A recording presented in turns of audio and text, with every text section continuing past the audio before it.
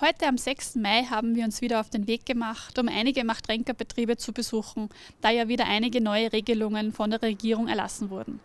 Wir haben heute besonders den Blick auf die Gastronomie, Handel und auf den Fitnessstudiobetrieb Mrs. Sporty gelegt.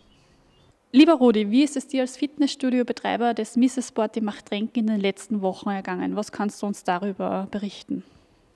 Ja, nachdem meine beiden Clubs, äh, Mrs. Sporty in Machtrenk und in Wales, jetzt seit 16. März behördlich geschlossen sind, die sind ja immerhin jetzt schon acht Wochen, kann man sich vorstellen, dass es einem Unternehmer da persönlich und auch wirtschaftlich nicht gut geht. Wisst ihr schon, wann ihr wieder das Fitnessstudio öffnen dürft? Äh, leider nein. Eben letzte Woche hat es von der Bundesregierung geheißen, dass der 29. Mai es sein soll, ist aber in der Zwischenzeit leider nicht bestätigt worden. Und das Schlimme daran ist auch, dass wir nicht mehr wissen, unter welchen Auflagen. Das heißt, wir würden ja alle Auflagen erfüllen, jetzt äh, von der hygienischen Seite oder auch sicherheitstechnischen Seite. Unsere Damen können trainieren. Der Zwei-Meter-Abstand, der gefordert wird, äh, ist auch oder wird eingehalten. Also wir stehen in den Startlöchern, aber es ist eigentlich unverständlich, dass die Regierung uns als Fitnessbetreiber so hängen lässt. Anscheinend ist Gesundheit, Fitness, Wohlbefinden für die Bundesregierung ganz weit hinten gereiht. Und habt ihr aktuell für eure Mitglieder sportliche Aktivitäten oder Aktionen geplant, dass man sich trotzdem weiterhin fit halten kann, trotz Schließung? Ja, da sind wir seit Beginn der Schließung eigentlich sehr aktiv. Äh, wir bieten grundsätzlich 24 Stunden einen Online-Service an. Das heißt, wir haben mit unserer Zentrale in Berlin eine Plattform, wo man einerseits Trainingsvideos jederzeit zu Hause mit der Familie auch trainieren kann.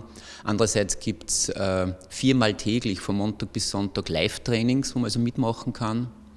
Weiters haben wir eine Mrs. Sporty Trainings-App, wo unsere Damen die Übungen, die sie normalerweise hier im Club absolvieren, können zu Hause, Smartphone, Tablet trainieren. Und wir sind stetig mit unseren Damen in Kontakt, äh, weil es immer wieder Trainingsplan, Aktualisierungen gibt, beziehungsweise Ernährungsberatung und ähnliches. Und seit heute äh, starten wir dann auch ein Outdoor-Training. Jetzt ist es erlaubt, eben in Zehnergruppen Kurse im Freien abzuhalten. Und heute wird dann täglich von Montag bis Samstag eben eine Stunde im Freien mit den Damen trainiert. Lieber Rudi, hast du noch eine Message an unsere Machtränker? Einerseits freuen wir uns natürlich, wenn unsere Mitgliederinnen wieder ab hoffentlich Ende Mai bei uns wieder trainieren oder auch eben für Nichtmitgliederinnen, die eben vielleicht ein paar überschüssige Kilos äh, losbringen wollen oder mehr für Fitness und Gesundheit tun wollen. Für die sind wir natürlich auch da und freuen uns, äh, wenn es dann wieder losgeht, wenn ihr bei uns vorbeischaut und ein kostenloses Training bei uns genießen könnt.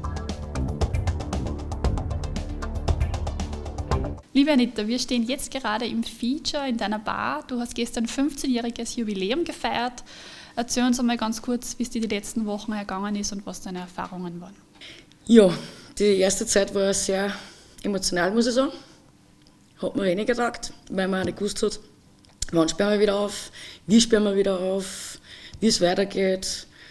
Es war generell, glaube ich, für jeden Unternehmen eine Zumutung plus Mitarbeiter ja, jetzt schauen wir halt, dass wir das Beste machen. Wir schauen jetzt mal, dass wir den Garten fertig machen und einmal alles sauber machen, dass wir für 15.05. bereit sind. Ja, wie schaut das jetzt aus? Ab 15.05. öffnest du wieder und wie setzt du die gesetzlichen Bestimmungen dann um? Wir schauen, dass wir halbwegs was einhalten können. Von den Tischen her geht es ja aus und hoffen auf ein schönes Wetter. Dann können wir den Gasgarten genauso nutzen und es haben mehr Leitplatz. Und Anita, hast du noch irgendeinen Appell an die Machtränker? Und zwar sperren wir am 15.05. wieder auf mit geänderten Öffnungszeiten von 17 Uhr bis um 23 Uhr. Und ich freue mich schon wahnsinnig auf euch. Danke, Anita, für das Interview und alles Gute. Liebe Kathi, du hast jetzt seit 14. April wieder offen. Das sind rund drei Wochen. Vielleicht erzählst du uns mal ein bisschen was, wie es dir in der Woche der Schließung ergangen ist und wie die Wochen der Wiedereröffnung für dich waren. Ja, grundsätzlich, wie wir erfahren haben, wir müssen schließen, war mal, ich glaube, wie bei vielen, diese Schockstarre. Ähm, ich habe natürlich mein Team auch darauf vorbereiten müssen, dass wir jetzt einfach mal wirklich zumachen. Wir haben jedoch noch, dadurch, dass es so schnell gegangen ist, einige Bestellungen gehabt. Jetzt bin halt ich hergefahren, habe die Bestellungen noch so weit abgewickelt mit den Kunden. Und ja, nach einer Woche haben wir zwar zuerst gedacht, gut, Füße hoch. Das war dann nicht so, weil irgendwie ist mir die Arbeit dann gleich mal abgegangen, beziehungsweise die Blumen sowieso. Und dann habe ich nach einer Woche gleich mal angefangen, dass ich gesagt habe, ich bestelle wieder was. Wer möchte, kann mitbestellen. Und das ist dann relativ gut angelaufen. Ich habe quasi alleine äh, die Firma jetzt weiter betrieben, habe die Bestellungen gefertigt, alles ausgeliefert. Die Kunden waren wirklich alle sehr, sehr dankbar und sehr nett. Also es waren ganz, ganz viele tolle Gespräche dabei, wo man einfach gemerkt hat, dieser Zusammenhalt war enorm. Natürlich war ich aber dann selber mental, sage ich mal, schon ziemlich fertig zwischen Homeschooling, einerfahren, Bestellungen machen, ausliefern, wieder heim, Homeschooling, kochen, putzen, sonstiges. Ist eine Mutter doch sehr gefordert gewesen, wo ich dann wie erfahren habe, dass wir wieder aufsperren dürfen. Heilfroh war, dass einfach mein Team retour kommt, weil es war, sage ich mal, für die Fixkosten war super, dass wir es gemacht haben. Für alle war es einfach zu wenig und für mich allein war es aber zu viel Arbeit, muss ich auch sagen.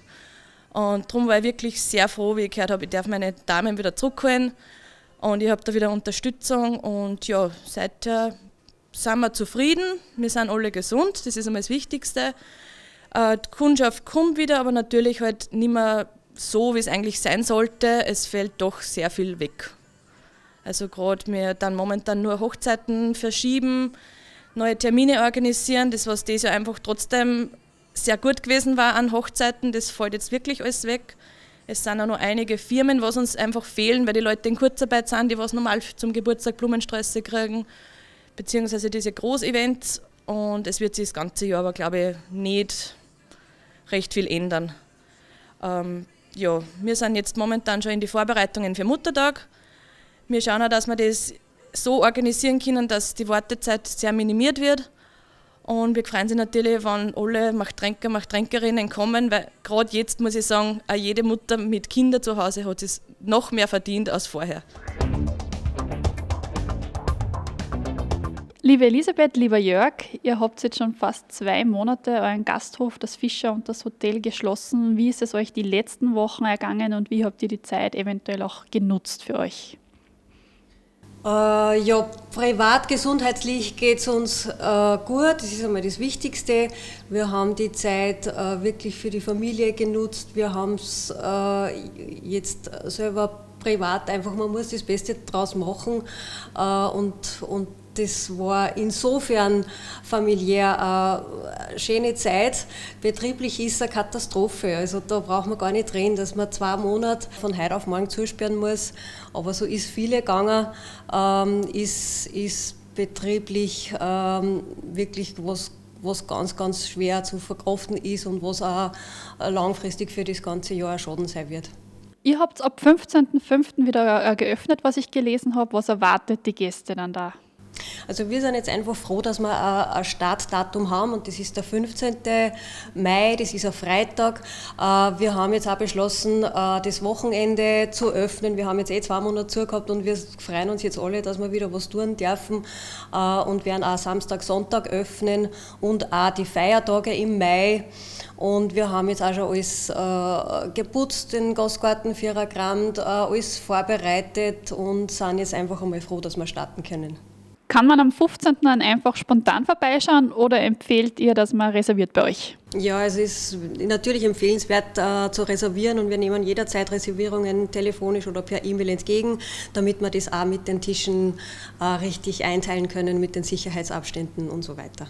Ab 15. starten wir wieder und wir freuen uns jetzt auch wirklich darauf, äh, wieder Gäste bei uns begrüßen zu dürfen und mit euch ein Glas Wein oder ein Glas Bier oder ein Glas Prosecco trinken zu dürfen. Oder zwei Gläschen. Also bitte kommt alle zahlreich, wir freuen uns schon auf euch. Danke. Danke sehr.